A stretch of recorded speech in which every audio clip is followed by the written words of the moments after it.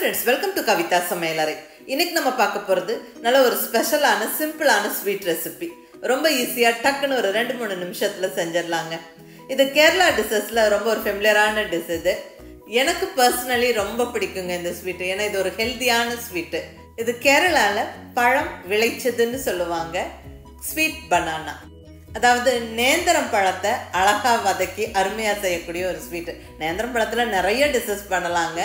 இந்த ஸ்வீட் வந்து சிம்பிளாக இருக்கும் முக்கியமாக ஹெல்த்தியாக இருக்கும். ஏன்னா இதில் எந்த விதமான ஆர்டிஃபிஷியல் கலரோ மாவோ எதுவுமே சேர்க்கல. ஹெல்த்தியான மூணே பொருள் வச்சு அழகாக செய்யக்கூடிய இந்த ஸ்வீட்டு குழந்தைங்க விரும்பி சாப்பிடுவாங்க. அடிக்கடி குழந்தைங்களுக்கு செஞ்சு கொடுக்கறது ரொம்ப ரொம்ப நல்லதுங்க.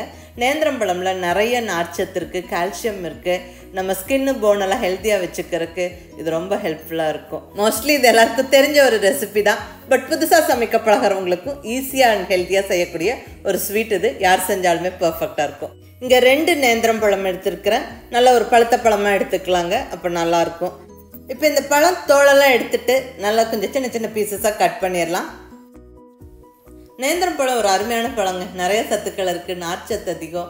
சின்ன குழந்தைங்களுக்கு கூட கொடுக்கலாம். சாலிட் ஃபுட் அப்போ தான் ஸ்டார்ட் பண்ணுற ஒரு ஏழு எட்டு மாத குழந்தைக்கு கூட இதை கூழ் மாதிரி செஞ்சு கொடுக்கலாம். நல்லா வெயிட் போடுவாங்க. நல்லா ஆரோக்கியமாக வளருவாங்க. வெயிட்டு கம்மியாக இருக்கிற குழந்தைங்களுக்கெல்லாம் இந்த நேந்திரம் பழம் ஒரு நல்ல ஒரு ஃபுட்டுங்க நல்ல ரிசல்ட் இருக்கும். நீங்கள் வேணால் அதை ட்ரை பண்ணுங்கள் கூழ் மாதிரியெல்லாம் செஞ்சு கொடுக்கலாம். கொஞ்சம் வளர்ந்த குழந்தைங்களுக்கு இப்படியெல்லாம் செஞ்சால் ரொம்ப நல்லாயிருக்கும் அவங்களும் விரும்பி சாப்பிடுவாங்க. ஸோ இந்த சிம்பிளான ஸ்வீட்டை மிஸ் பண்ணாமல் ட்ரை பண்ணுங்கள் இப்போ பனானாவை நல்லா கட் பண்ணியாச்சு. இந்த மாதிரி கொஞ்சம் திக்கான பீசஸாக கட் பண்ணிக்கோங்க. ரொம்ப தின்ன சிப்ஸ் மாதிரியெல்லாம் கட் பண்ண வேண்டாம். இப்போ நம்ம வதக்கிடலாங்க. இங்கே ஸ்டவ்வில் கடாய் வச்சாச்சு. நல்ல ஒரு அடிகனமான கடாய் வச்சுக்கோங்க.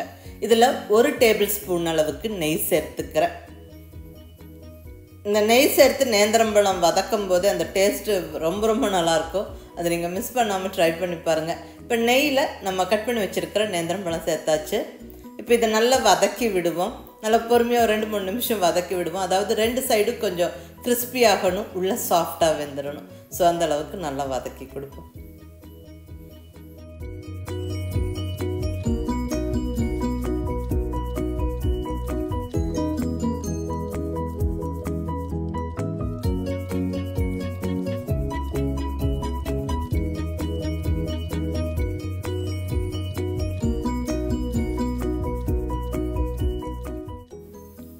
ஸ்டவ்வை கொஞ்சம் மீடியம் ஃப்ளேமில் வச்சுக்கிட்டு நல்லா பொறுமையாக வதக்கி விடுங்க.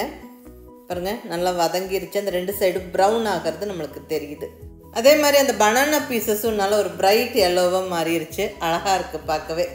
இப்போ நம்ம சர்க்கரை சேர்த்து விட்டுறலாங்க. நான் இங்கே நாட்டு சர்க்கரை ஒரு ரெண்டு ஸ்பூன் சேர்த்துக்கிறேன். வெள்ளை சர்க்கரையும் சேர்த்துக்கலாம். பட் நாட்டு சர்க்கரை இன்னும் நல்லது. ஸோ நாட்டு சர்க்கரை சேர்த்தாச்சு.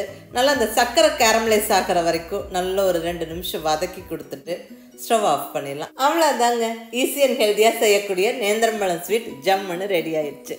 ரொம்ப ரொம்ப சிம்பிளான ரெசிபி தான் இது. பட் ரொம்ப நல்லா டேஸ்ட்டாக இருக்கும். ஸோ மிஸ் பண்ணாமல் ட்ரை பண்ணி பாருங்கள் ஓணம் சத்யாவில் பரிமாறப்படும் ஒரு அருமையான ஸ்பெஷலான ஸ்வீட் இது. ஓணம் திருநாளை கொண்டாடுற அத்தனை நண்பர்களுக்கும் ஓணம் திருநாள் நல்வாழ்த்துக்கள். ஹாப்பி ஓணம். தேங்க்யூ இதனால் ஒரு ஸ்நாக்காகவும் இருக்குங்க. டீ டைம் ஸ்நாக்காகவும் செய்யலாம். ஸோ மிஸ் பண்ணாமல் ட்ரை பண்ணி பார்த்துட்டு எப்படி இருந்ததுன்னு உங்கள் ஃபீட்பேக் சொல்லுங்கள் பிடிச்சிருந்தா லைக் பண்ணி ஷேர் பண்ணி கமெண்ட் பண்ணுங்கள் கவிதா சமையலரை சப்ஸ்கிரைப் பண்ணி என்னுடைய மற்ற ரெசிபிஸும் வீடியோஸும் பாருங்கள் தேங்க்யூ